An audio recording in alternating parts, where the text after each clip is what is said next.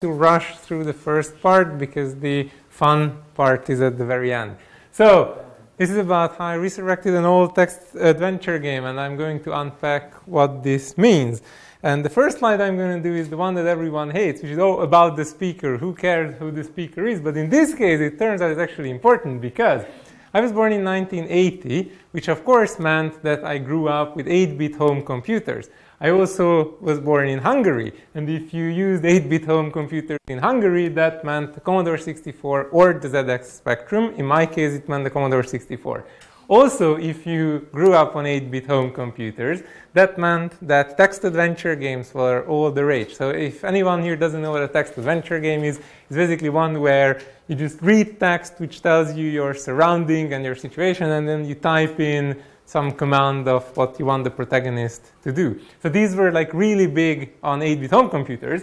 And if you had a Commodore 64 and you were in Hungary and you liked text adventure games, there was one particular game which was like the first professional grade text adventure game, and this was quite a big thing. And everyone who grew up around that time knew about this game. So I thought I would reverse engineer it because I've never done anything like that. And because the Commodore 64 is a very small machine, I thought I have a good chance of actually doing that because you know you can see the whole state of the machine in an emulator. So I'm not going to talk about the re reverse engineering part. The whole the point from this is that it turned out that the game logic itself was written in BASIC and then the engine was in machine code. I didn't care too much about the engine. The game logic was what I was after because I then re-implemented that in a modern text adventure uh, language, which is called Inform. I use Inform 5 because version 6 is insane. Uh, so version 5, after you compile it, you get something which runs in a VM, right? And then there are player applications for that VM. So you could download a player, load my my remade version of this old game into it, and then you could play something. And this could be the end of the story, right? So you load this in, you play this. It also has a web player, which is also, you know, this is something you download. I put it on my website together with the recreated game file. You load it in, and it works. And you can look at the gorgeous graphics from the original game, right?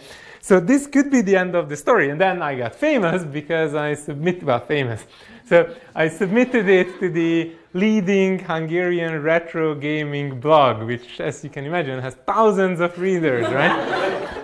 so this was my, my first uh, step towards becoming famous, but not the last, because like everyone wanted an Android version. So all the comments on you know the blog post, on Facebook, on a YouTube video which showed the game, all the comments was, I want to play this on Android.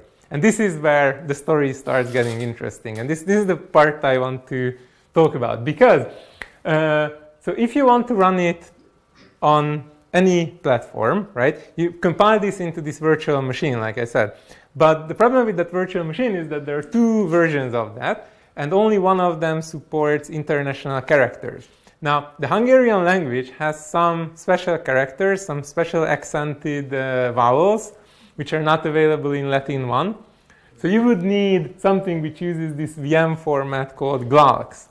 But there is no working Glulx interpreter or, or runner available for Android.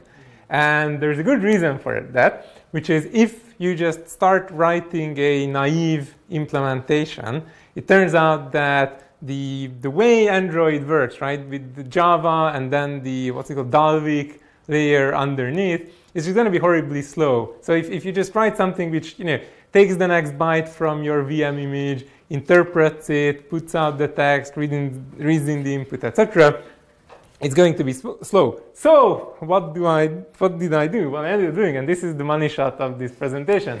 so I, I, promised five languages, right? So I took the Inform 5 source, which is you know my recreation of the game, compiled that to this Glulx bytecode, and then I wrote a compiler in Haskell which emits JVM uh, uh, assembly in a format called uh, Krakatau, which is a Python assembler for the JVM. So that one is JVM bytecode. I also wrote in Kotlin all the, the GUI scaffolding around it, you know, because you need a front end to be able to play it. And then there's a small runtime system which the you know, the generated, sorry, so this part, the generated uh, JVM assembly links to because it needs to like maintain its own stack and blah, blah, blah for technical reasons. And if you put all this together, you get the Android app.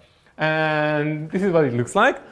It actually looks nicer than the, like the, the, the real uh, Glulx players because you know I was able to play with like transparency and whatnot. So there's like an overlay effect on the graphics, and it doesn't look so horrible and pixely. And this got me fame again because I submitted it to the same blog, and then you know they ran a story on it, and and then the Android app, yeah, got. Uh, almost 5,000 downloads, which is, I think, the total addressable market for a early 80s Hungarian text adventure game. So I have, I have cornered that market. so, and that's it. Thank you.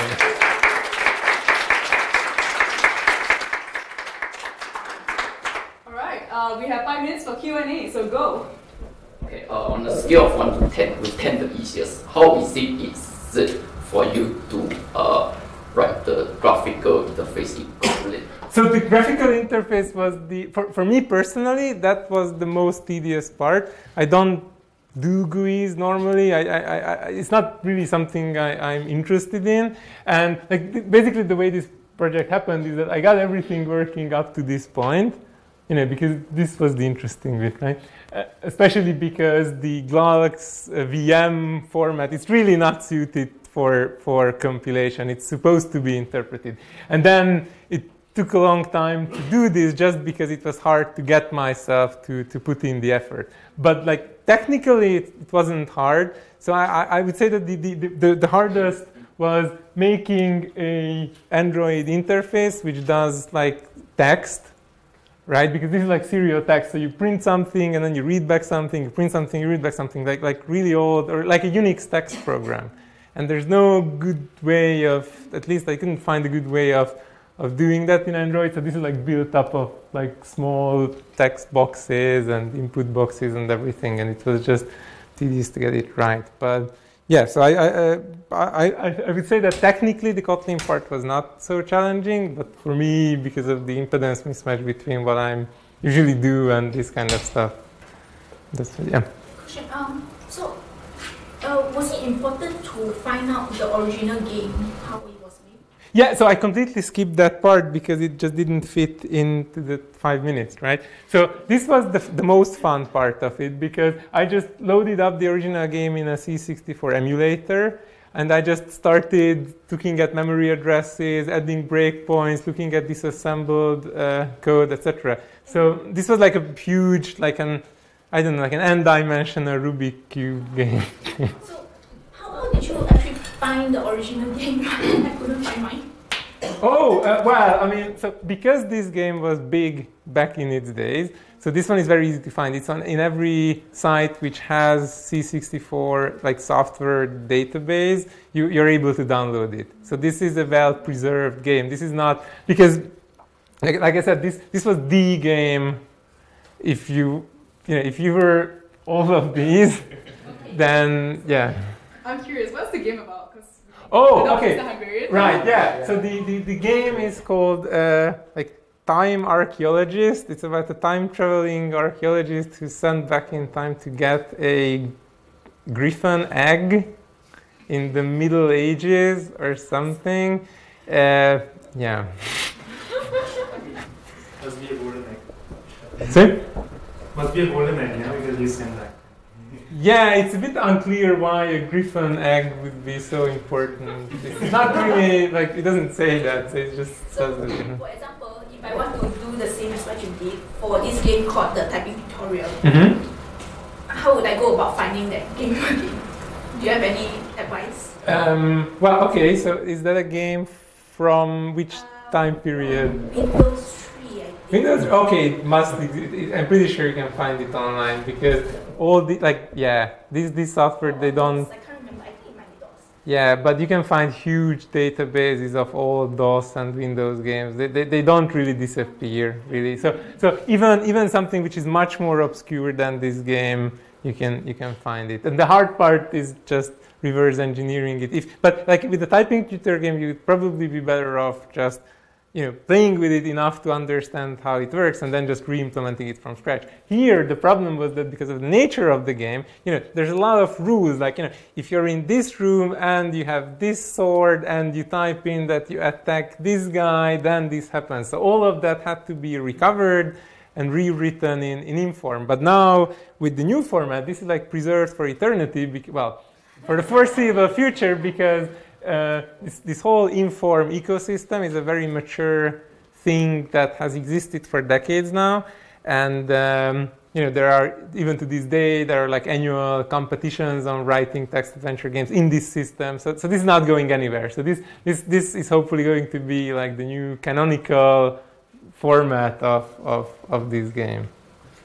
Yeah, we have uh, enough time for one more question. Oh, I'm not sure if you got enough time to answer this question, but it's okay. We can uh, uh, can you give more detail on how the reverse engineering is done, like from the memory? Uh huh. So I, I could talk like hours about that, but the the starting point was I just loaded up the game. Uh, so the first trick was that I found a version of the game which was cracked back in the day, so it didn't have any copy protection, and it, it was on a tape instead of a floppy. So you loaded it once and it was all inside memory, but it didn't support the pictures. But in that version, I could load it in, take a dump of the 64 kilobytes of memory, disassemble that, right? And that gave me 64 kilobytes of undocumented machine code.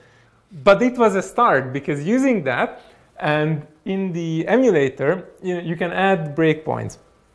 So what I next did is I traced, instead of breaking, I first just traced the program counter and then just let the game run, like without typing anything. So that gave me all the program counters that the, oops, sorry, that the game would go through if you're not doing anything interesting.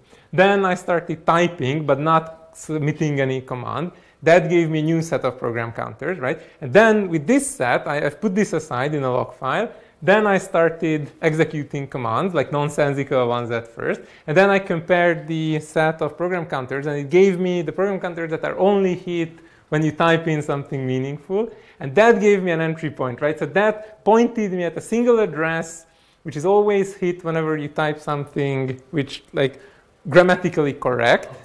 And then from then on, I could start reading the machine code and actually figure, because it's not that hard if you know where to start. But this gave me the, the starting.